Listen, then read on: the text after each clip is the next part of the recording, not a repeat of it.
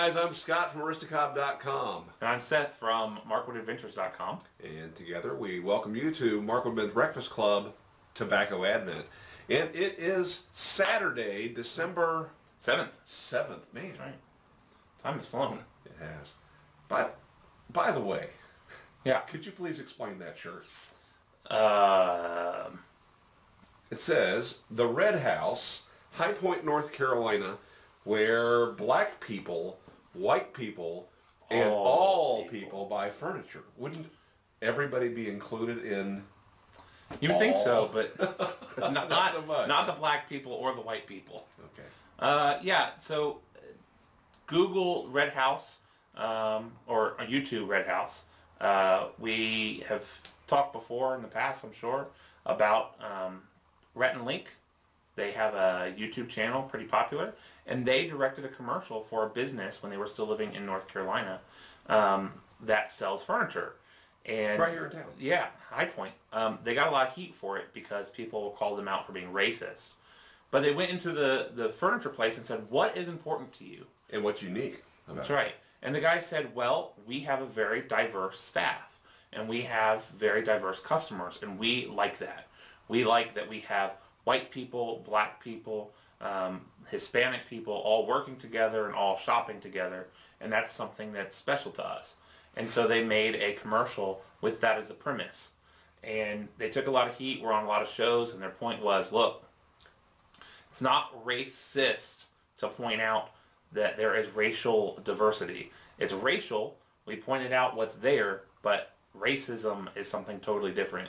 Um, the song commercial is so catchy and funny. Check it out. Yeah, I agree. It's uh, People always ask me if this is me. it is not me. Uh, this is 10 Gauge. Uh, you'll know when you when you, AKA when you 10 it. gauge. That's right. and that's Big Head. That's right. Yeah. Go watch the video. It's worth we it. actually shot a video a long time ago for uh, they were have, looking for the official Rhett and Link handshake, which eventually became. Do you remember?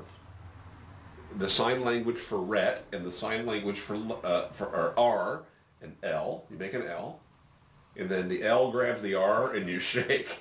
That was not our submission. Our submission was easier. It went something like this. Which I thought would have been catchier, but uh, it was not selected. No, Although it was featured on their website, right? We did we did go to the Red House and um, got this shirt here and they're there and met Uh, Big Head. Big Head. That's right. Um, check it out. It's a lot of fun. Yeah. So Saturday, um, I'm ready to pick another cornament off the That's right. Advent uh, tobacco Advent Day number seven. So here we go. Uh, things are getting precarious up here. Well, that's because you thought that you're close enough you didn't have to stand up. There is that. All right, so here's the cornament that is going to. Da, da, da, da. This is limited edition tobacco advent ornaments. You can't get these anyplace else. No. All right, here we go. What is it, boy? This is Kevin Poe. It's a familiar name. That is a familiar name. Uh, who sent us Coach House earlier. Um, we still don't know what that was. And uh, Hearth and Home Ambassador's Blend Okay. is what this is. The description on the tins. Opposite of Coach House, this one has a very long description. Now, yeah, the thing about the thing about Hearth and Homes tobacco, and I have a tin or two of it here in the shop. Um, they've got big tins. They kind of remind me of uh, almost the old-fashioned quart uh, quart oil cans, which you probably don't remember at all. Um, imagine a um, oh Pringles potato chip can, but much larger. Imagine a Hearth and Home tin. Oh, You've yeah, I'll do that. Yeah, uh, Hearth and Home, we also had the Magnum Opus, right? Well, we had a sample of it, but we didn't have the tin. Right. Anyway, they have big descriptions. So here, here we go. This blend was created as a result of a number of requests from some for something in the same vein as some of the richer Dunhill tobaccos. London mixture, standard mixture full, and medium. Seasoned English blend smokes are familiar with the warm and rich flavor of those mixtures, and although we don't try to duplicate any of their tobaccos, Although, uh, we have worked to recreate the spirit and flavor profile What of these currently absent old friends. We're not going to copy their tobacco, but we are going to come up with what's that Burger King hamburger that was that had two beef patties and a unique sauce, uh, lettuce, cheese, pickles, and onions on a McDonald's did the same thing. They made a Whopper and called it the McHappy or something. Oh, did it? Uh, more recently, Burger King ripped off the McRib. Oh, that's they? right. And, and actually, it was pretty good. Rib For, sandwich. for a homogenized pork product. Have you ever seen those things frozen? It's like spam. What they look like as It's- patties? It's, spam. yeah, it's gross, but it's so yummy. Anyway, back to Ambassador's Blend from Spam. Uh, members of our sampling group made comments like, quote, I think you nailed it. And I haven't tasted anything like this in years. they clearly haven't had the magnum opus. That's true. Find out what they're talking about with our newest Ambassador's Blend. All right. Now, one of the first things that I noticed about the tobacco before even lighting it is the texture. It's, um, is it another ribbon cut? Uh, No, that is No, not. It's not. But, which last time got me in trouble, Kevin. Um, it is another. Uh, You know, it's it reminds really. It reminds me of the ready rubbed tobaccos. It's it's a pretty pretty coarse. Yeah. If it was a ribbon, it's not anymore.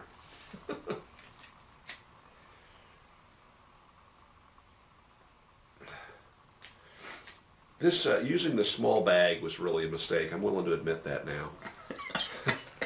Next year, let's get a- to get a bag that has a larger opening. All right. mm -hmm.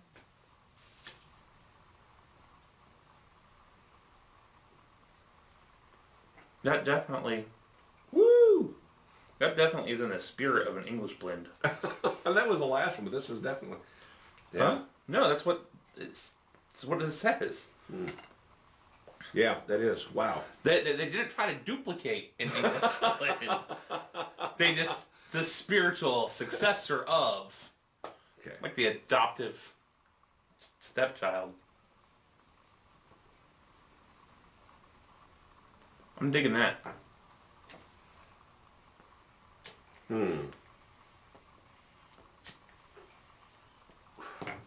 Yeah, that's like McDonald's version of a uh, Chick-fil-A number one. what do they call that? Their country chicken sandwich I have no idea. It was uh, basically their uh, McChicken with uh, a pickle. That's sad. That is um. That's pretty close to, um, that's pretty close to uh, the type of flavor I would expect from a cigar that I would I would pick.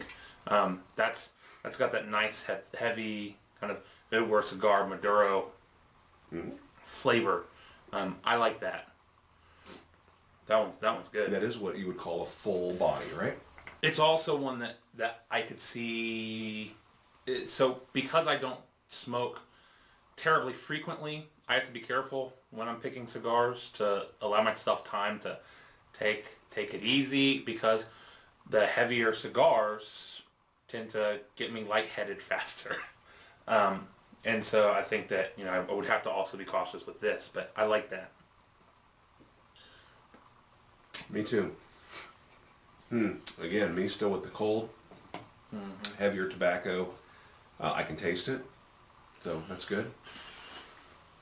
Although I have to say, you know, we get I get people ask all the time about, you know, do you use a filter? I usually don't filter my tobacco, but if I have a tobacco that's just you know a little bit too strong for me, um, I'll put a filter in my pipe, and that changes it up quite a bit. One of the reasons why folks don't like filters is it mutes the flavor. But that may be exactly what you need from some some strong tobaccos. Sure, that makes sense. I am not using the filter, and don't usually. Well, the this pipe cannot accept a filter. Really? No, sir. This is the um, well. This is the official Cornament pipe. This is a Morgan uh, nose warmer. I'm smoking a naked one. Boy's smoking a uh, a polished one.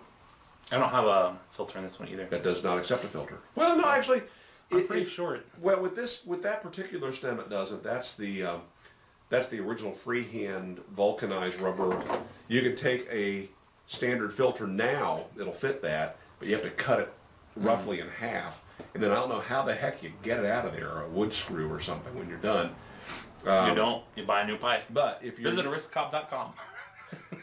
if you're smoking that with a with a, uh Danish bit in it, you can use the standard filters in them.